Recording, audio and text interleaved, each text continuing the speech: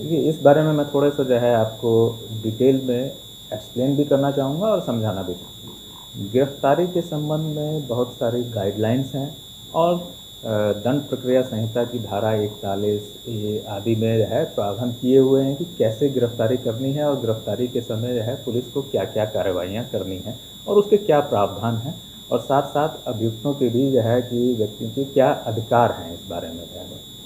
तो इसमें है एक प्रावधान कि सात साल से कम यदि किसी ऑफेंस के लिए सज़ा निर्धारित है और उस सज़ा में कोई व्यक्ति को अप्रीहेंड किया जाता है।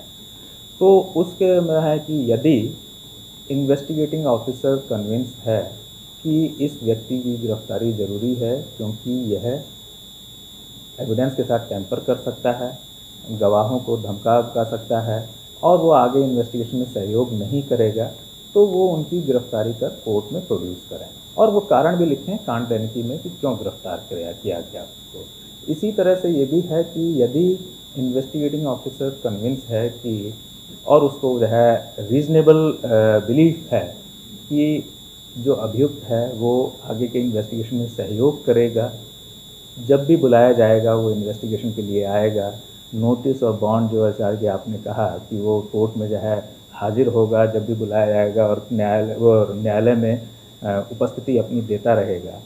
तो वह उसको उस नोटिस और बॉन्ड दे करके भी है गिरफ्तारी नहीं भी कर सकता है। ये और उसके कारण भी लिखेगा वो कांड देने की में। जो है तो ये है जो है प्रावधान। अब जैसे दूसरी चीज़ आपने कही कि जेलों में कैदियों की संख्या ज़्यादा ना हो तो उसके लिए गृह विभाग ने और जेल ने जो है बहुत सारी व्यवस्थाएँ की हैं।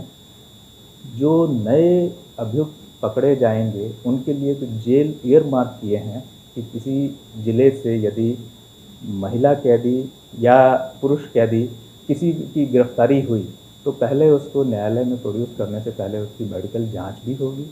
और जाँच होने में यदि जो है पॉजिटिव आता है तो उससे रिलेटेड जो कोविड वार्ड बनाए गए हैं, वहाँ पर उनको जो है रखा जाएगा। और एक तरह से वो पुलिस कस्टडी में, जुडिशल कस्टडी में रहेंगे और वहाँ पे जो है वहाँ रहेंगे। और यदि उनको न्यायालय द्वारा है जुडिशल कस्टडी में जेल भेजा जाता है तो जो ईयर मार्ट जेल है वहाँ पर उन्हें भेजा जाएगा, वहाँ रखा जाएगा। कुछ रू के कुछ समय और क्वारंटीन पीरियड कहें या आइसोलेशन पीरियड कहें या जो भी आप नाम उसे देना चाहें, जब अवधि पूरी हो जाएगी, तब वो अपने नॉर्मल जेल में जाएँगे। ये हैं प्रावधान और गिरफ्तारी के बारे में हमारा एक हमेशा से रहा है कि हम क्वालिटेटिव गिरफ्तारी पर विश्वास रखते हैं।